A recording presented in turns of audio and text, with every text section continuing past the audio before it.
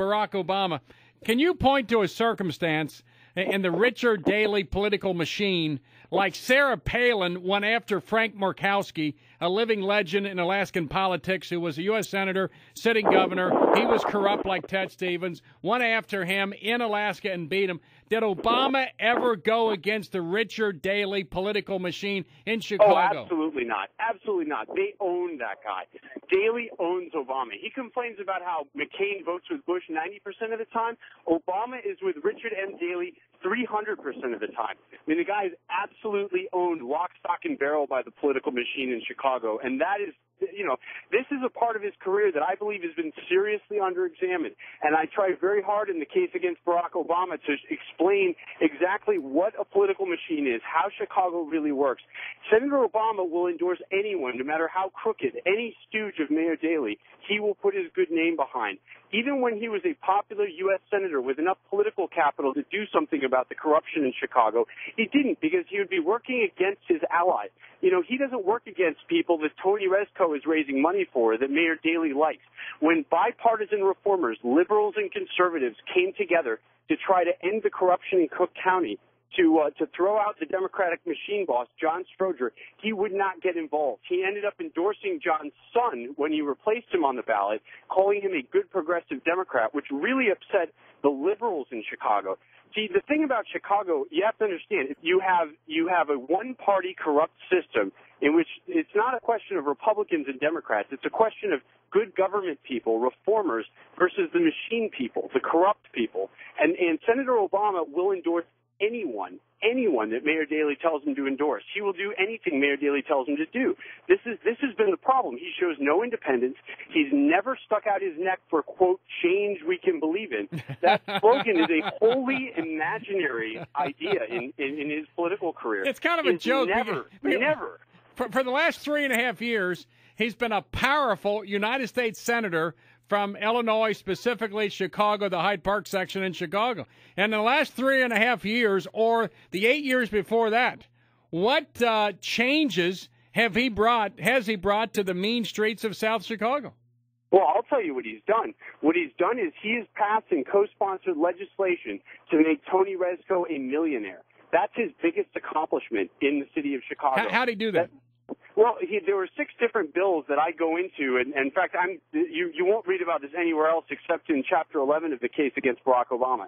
Six bills were that he that he helped push through.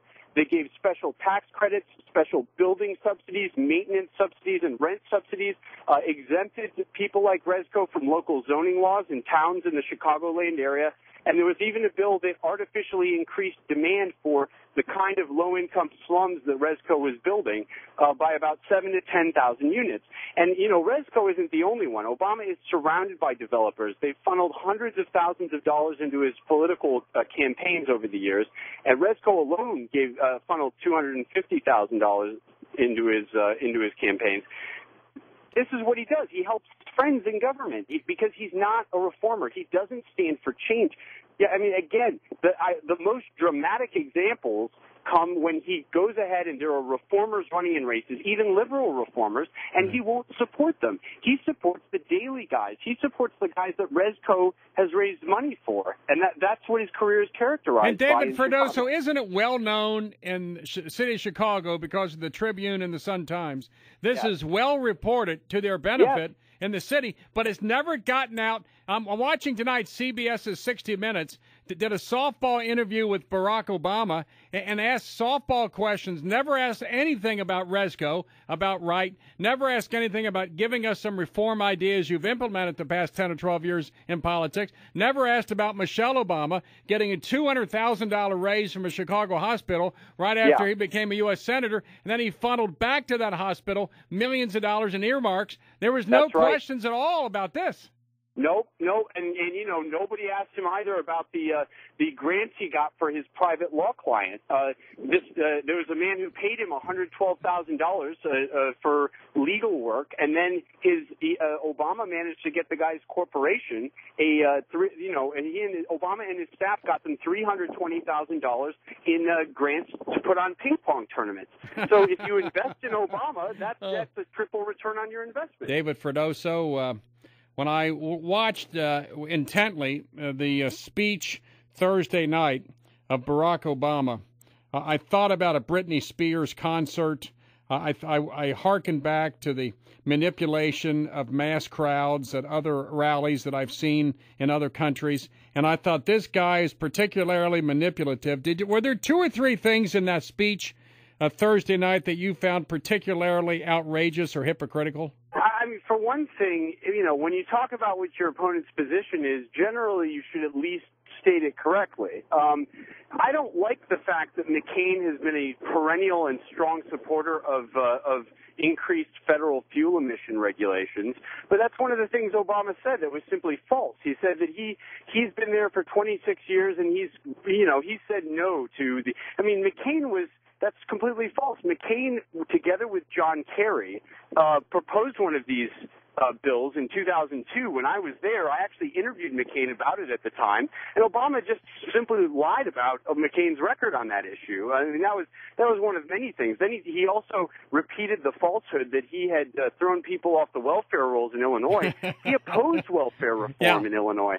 I mean, th- th- this is this is just the kind of thing that he's able to get away with these completely counterfactual statements, and no one in the mainstream media is willing to uh, to, to to call him on it. It's it's it's quite disturbing, really, when you hear Chris Matthews and and T- uh, Keith Olbermann practically having a, a I don't know what you want to call it, Obama Rama or Obama whatever you want to say. Well, they, Um, they're basically self-satisfying themselves whenever they see his face.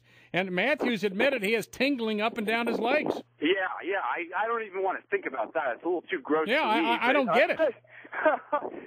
you know, the, the, really, he has so many cheerleaders in the mainstream media. Nobody wants to talk about, you know, how at the beginning of the, like you were saying, the beginning of the audacity of hope, he basically gives a fictional false account of his first election about how he he gave this speech about people coming together for the common good and setting aside their selfish interests and he was elected because of that when in fact yes he threw all of his opponents off the ballot by challenging their petition signatures and ran on the post. This is you know this is the other thing about Senator Obama related to that is that he's never actually been in a election before. He lost an election when he ran for Congress in 2000, but he knew he was going to get killed Yeah, from the beginning. yeah, Bobby Rush was going to beat him in that thing, the congressman. and he knew it. So, and in all of his other elections, either he threw all his opponents off the ballot, which he's not going to be able to do this time, or he, uh, or he didn't really have a real race.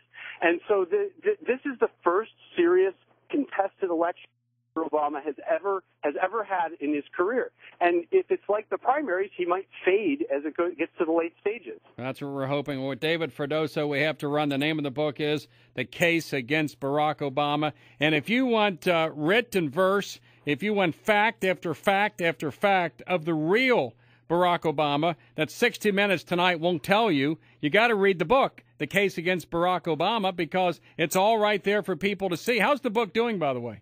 It's doing great. We're uh, I'm, I uh, debuted at number five on the New York Times bestseller list. I'm uh, number six this week, but next week we're going up. We're going to go up. That's a, that's uh, uh, uh, I people need to know the truth about Senator Obama. I'm trying. I'll talk to anyone who anyone who will listen about what the real Obama is all about.